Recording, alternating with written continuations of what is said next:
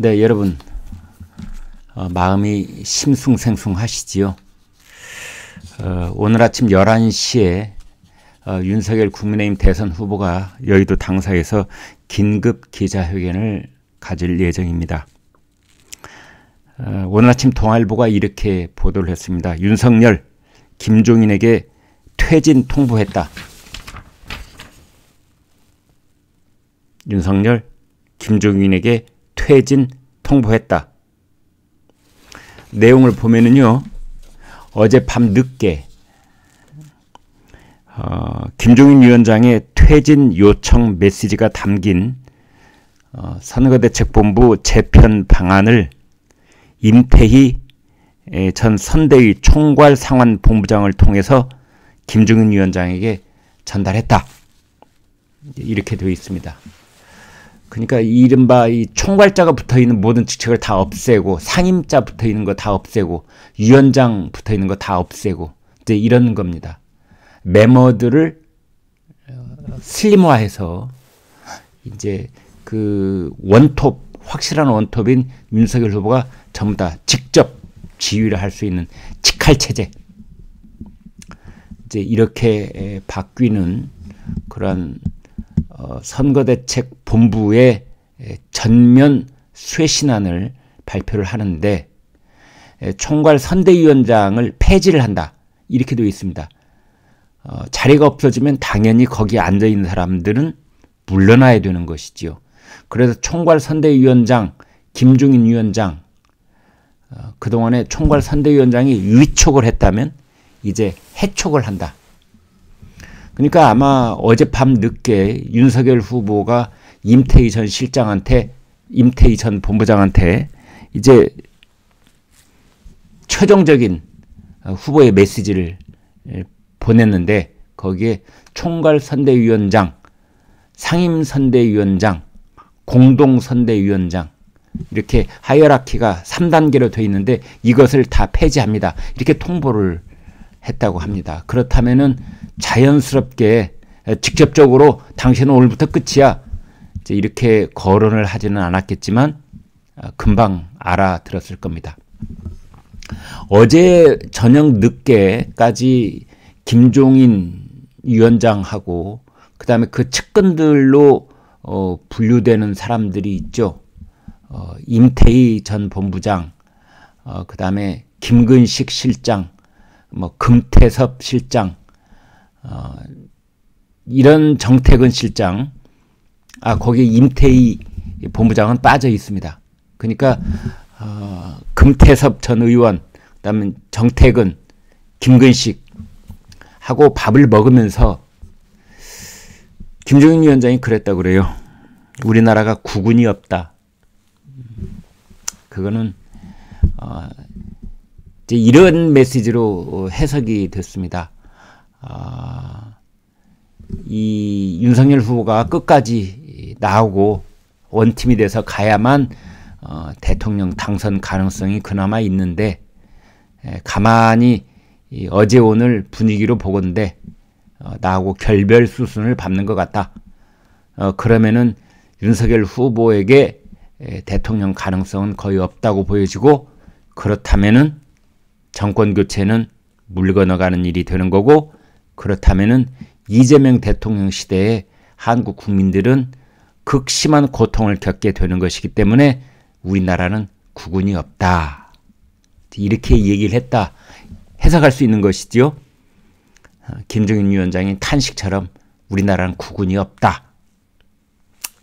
어떻게 보면은 매우 오만하게 들리는 그런 말일 수도 있습니다. 대한민국 국군이 마치 김종인 자기 손 안에 들어있는 것처럼 그렇게 얘기를 하는 것이기 때문이거든요. 아, 오늘날의 대한민국이 어떤 나라입니까?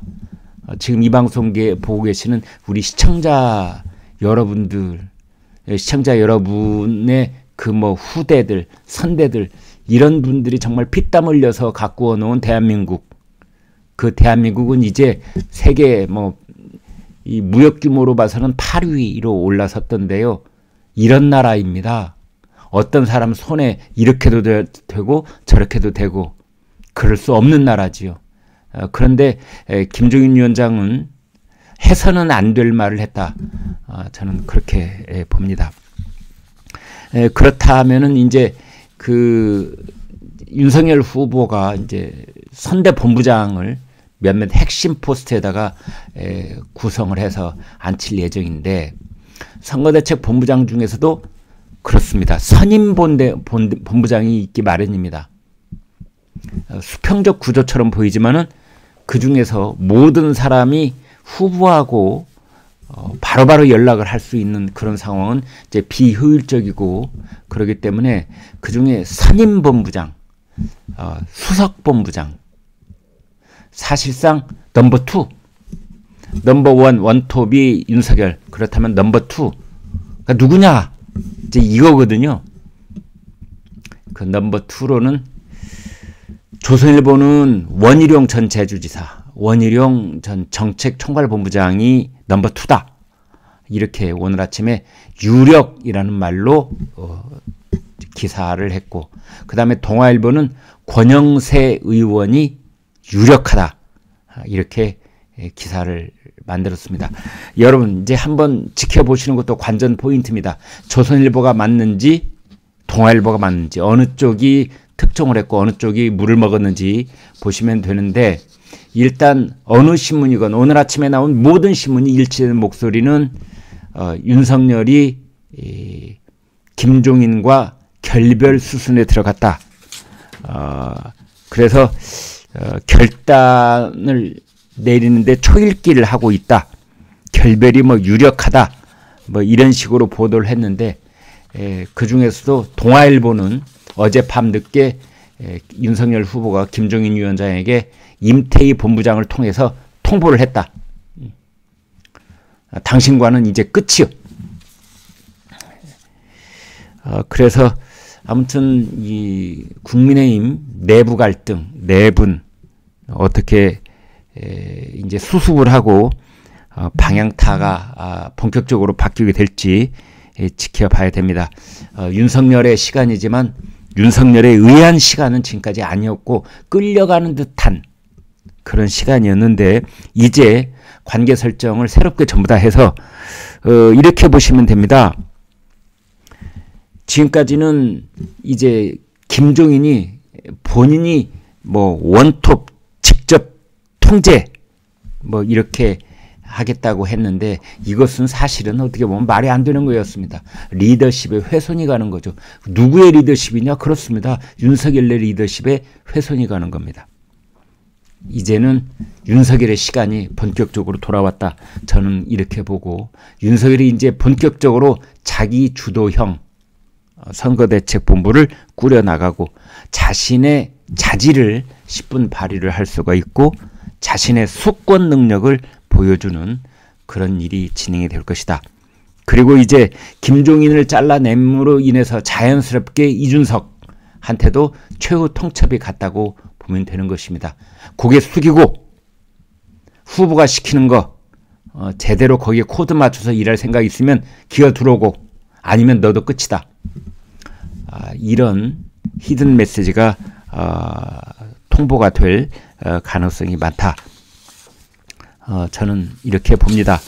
어, 아무튼 에, 전체적으로 봤을 때는 이러한 구조 조정과 어, 내부 갈등 수습 끝에 윤석열 후보가 자기 주도형의 새로운 그 정말 실무형의 예, 어떻게 보면 10명 이내 인원만 이제 이끌고 새롭게 출발을 하는데요.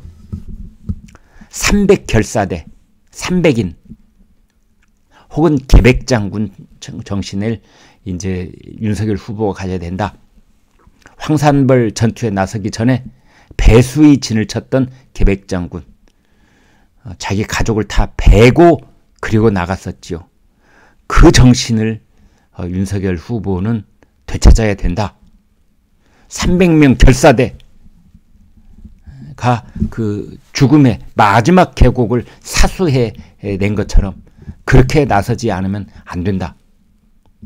따지고 보면은 이런 위기의식을 저희 시청자들께서는 유권자들께서는 이미 한 달 전부터 가슴을 치면서 이러면 안 될 텐데 이러면 안 될 텐데 이제 그래 왔던 것이 이제야 뭐 놀란 듯이 화들짝 어, 이러고 있습니다. 음. 정말 어, 여야를 할 것 없이 정치인들이 유권자 따라가기를 정말 반발짝 따라가는 것도 아니고 한참 뒤늦게야 깨닫는 이런 상황이 펼쳐지고 있는데 일단 어, 오늘 벌어질 일을 여러분과 함께 지켜보도록 하겠습니다. 구독, 좋아요 부탁드리겠습니다. 고맙습니다.